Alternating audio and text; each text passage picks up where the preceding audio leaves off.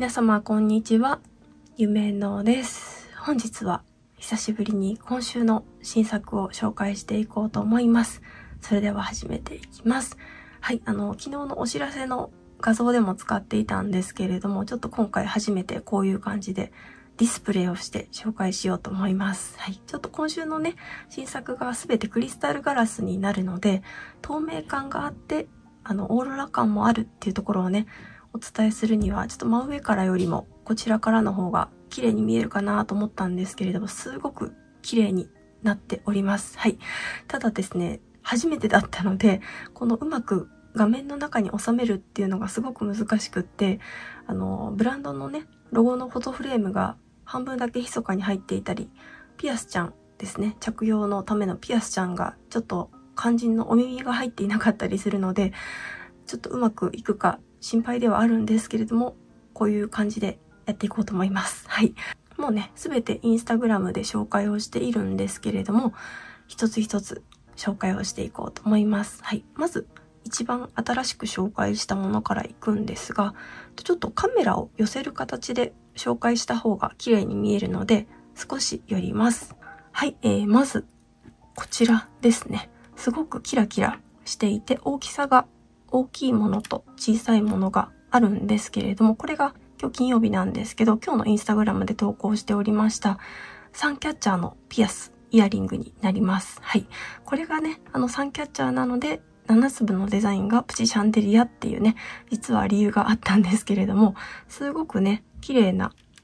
カットの入ったクリスタルガラスで八角形になっています。で、ちっちゃめサイズが 12mm、1.2センチ。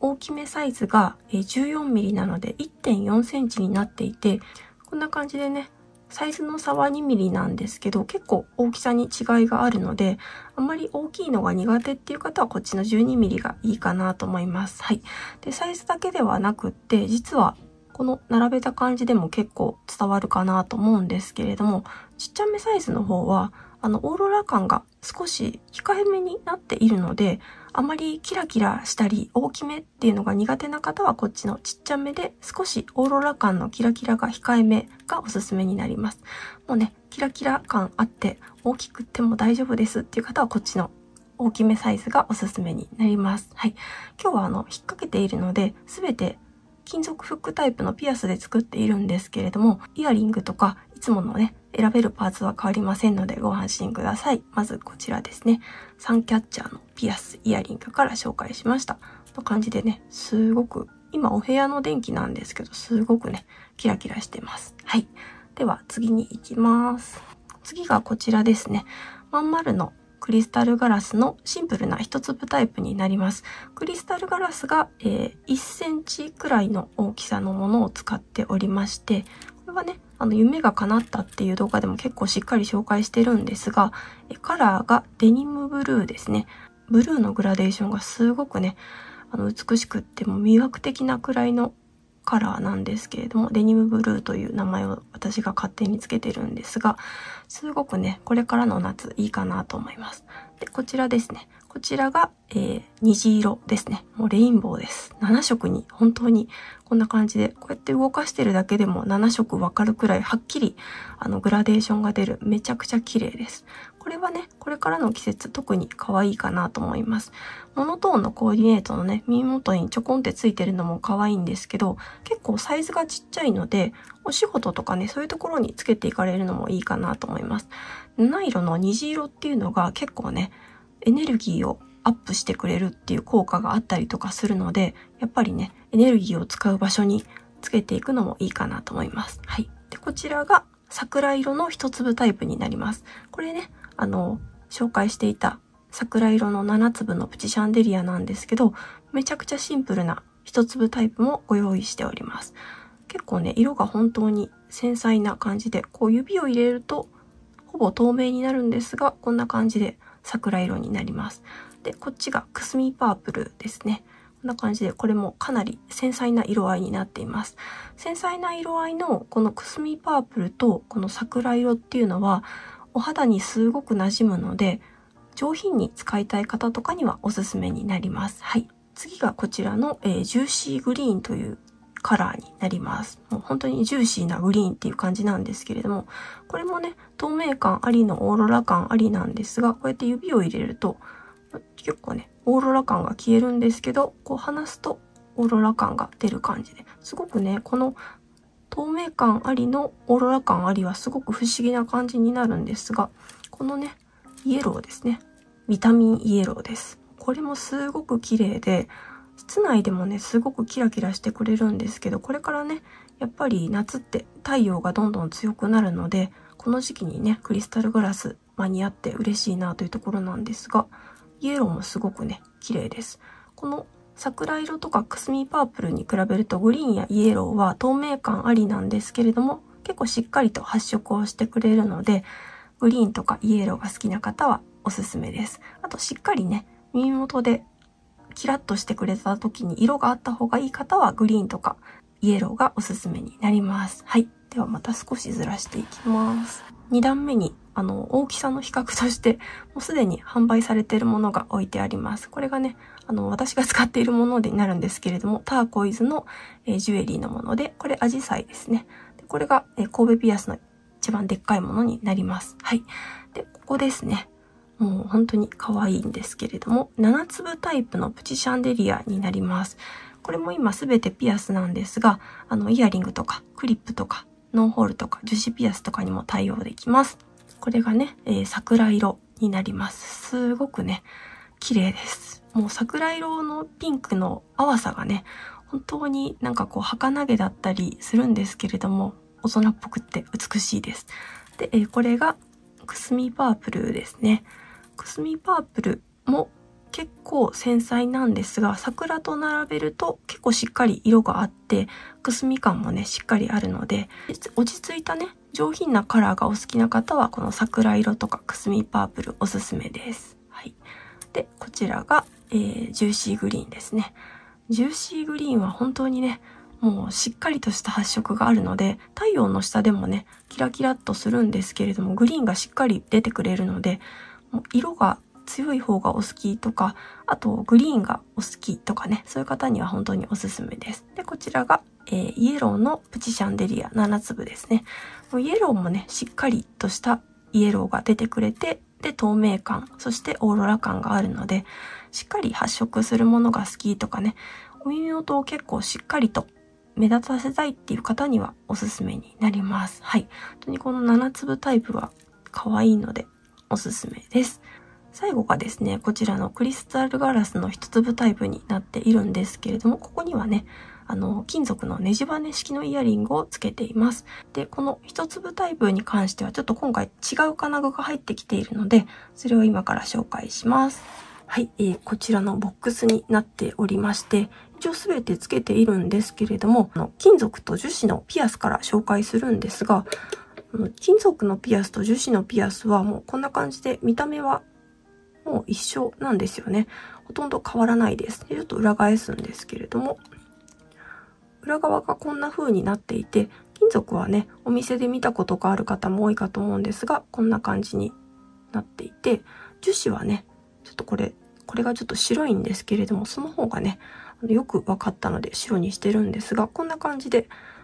完全に樹脂の針がついていて、で、このキャッチも樹脂になります。なのでね、こうすると、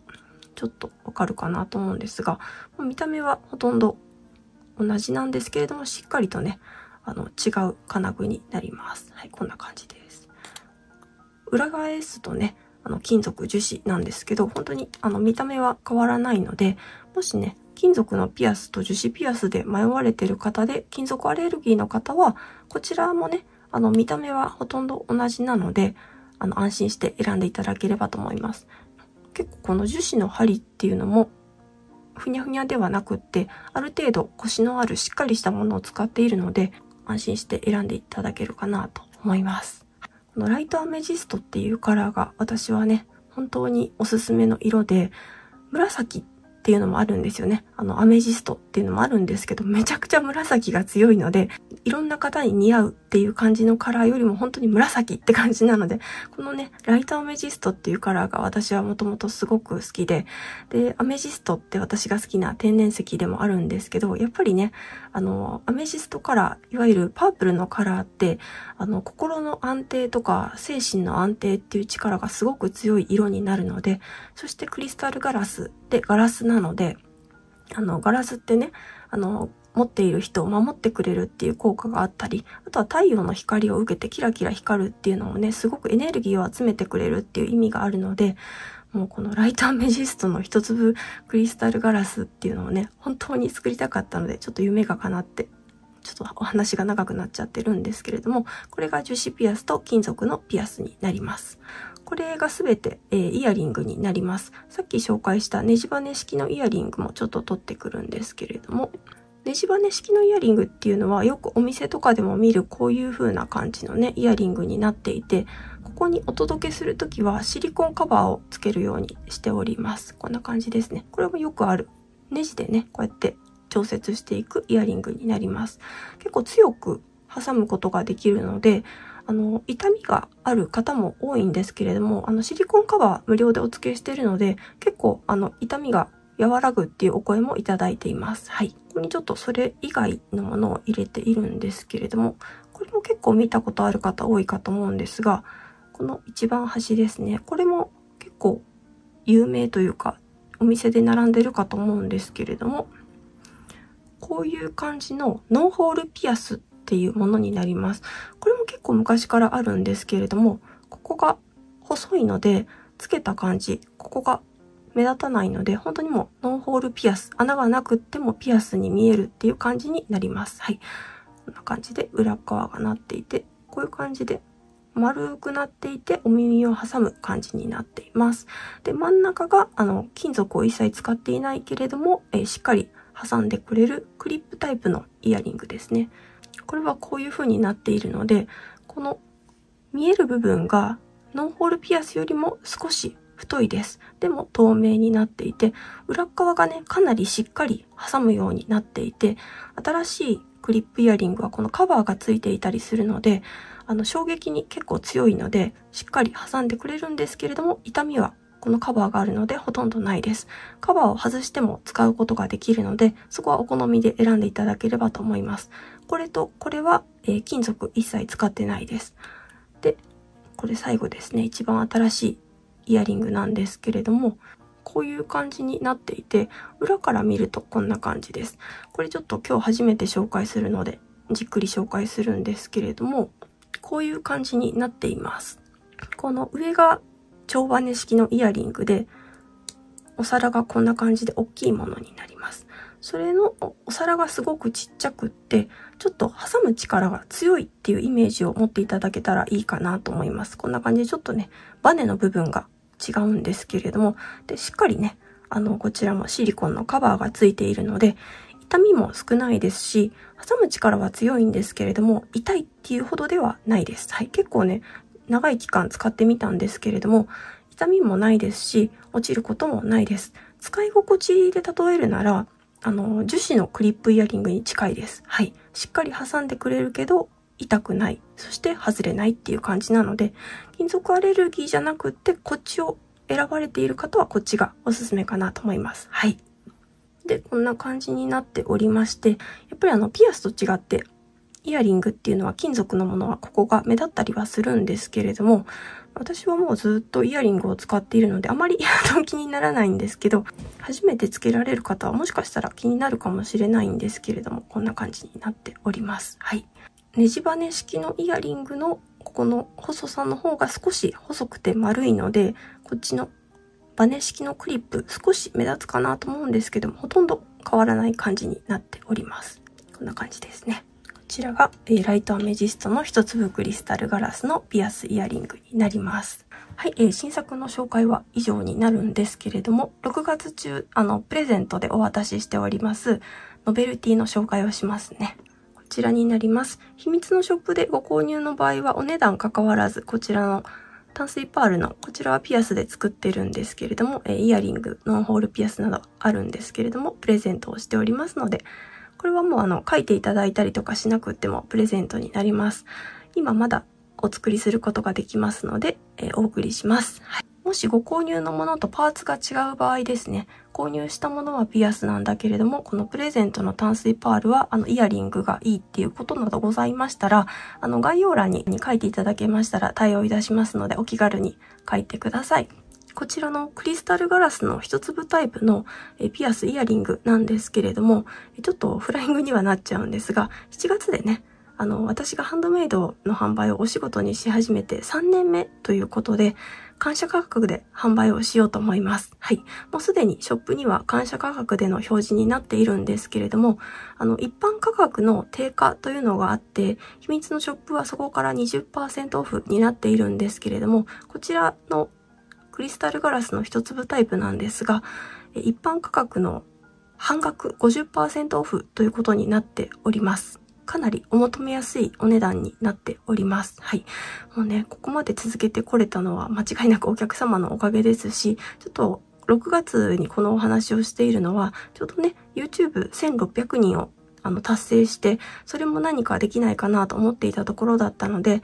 えー、半額ということで、なので秘密のショップの価格からさらに30%オフのお値段になっております。はい。で、それに、あの、いつものね、秘密のクーポンっていうのがあるんですけれども、それが使えますので、そこからさらに10%オフっていうこともできます。秘密のクーポンは500円から使えるように設定をしておりますので、からさらに10%オフっていうこともできます。今月もね、あの、秘密のクーポン使われた方は、こちらはあの、来月も感謝価格での販売をしますので、来月になって半額から10%オフっていうこともできるようになりますので、ぜひ、あの、この機会にね、あの、この一粒タイプのクリスタルガラス、ピアス、イヤリングをね、あの、お求めいただければなと思います。このね、いろんなタイプのイヤリングがありますので、今までね、あの、悩まれていた方とかね、そういう方もね、ぜひ、あの、試していただければなと思います。はい。やっぱりこのイヤリングに関しては使ってみないと、あの、やっぱり相性とかもあったり、金属アレルギーがある方とか、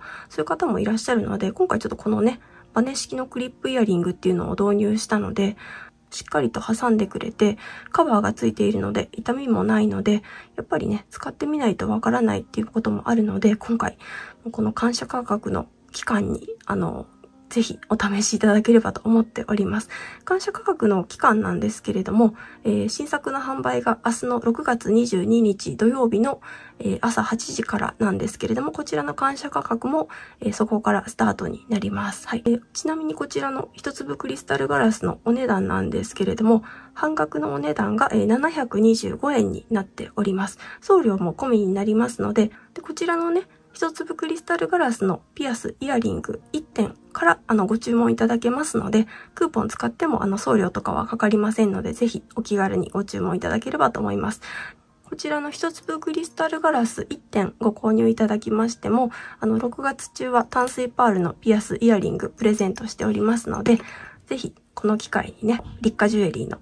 イヤリングピアスお試しいただければと思っております。はい。本当に感謝価格なので、あの、なかなかね、こういう機会ってないんですけれども、ちょうど1600人達成と、えー、来月で3年目ということで、ちょっといい感じに期間が近いので、ちょっとフライングなんですが、感謝価格での販売となります。はい。こちらのクリスタルガラスのピアスイヤリングなんですけれども、あの、お一人様1点限りとかっていうね、縛りは特にございませんので、あの、何点でもご購入いただけます。ちょっとね、こんな感じで、一粒タイプなんですけれども、大人っぽいライトアメジストっていう上品なカラー選んでますので、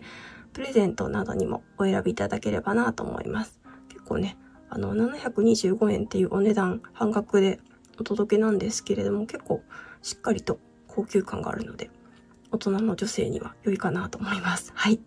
えー、新作の紹介と淡水パールのプレゼント実施しておりますというご紹介と、えー、一粒クリスタルガラスのイヤリング、ピアス、ライトアメジストが、えー、ちょっとフライングなんですけれども、えー、感謝価格の半額でのご提供というご案内をいたしました。新作の販売は6月22日土曜日の、え朝8時ですね。午前8時から秘密のショップにてスタートをいたします。本当にね、あの、クリスタルガラスとっても綺麗なので、この機会にショップに遊びに来ていただけると嬉しいです。はい。では、今日は久しぶりの新作の紹介、そしてこんな感じでディスプレイしながらの紹介だったんですけれども、ちょっとね、またこうやって新作の紹介とか、新作のライブとか、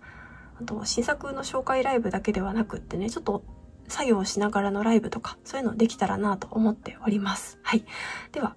今日はこの辺りで終わりにしようかと思います。いつも最後までご視聴いただきまして本当にありがとうございます。ではまた次回お会いしましょう。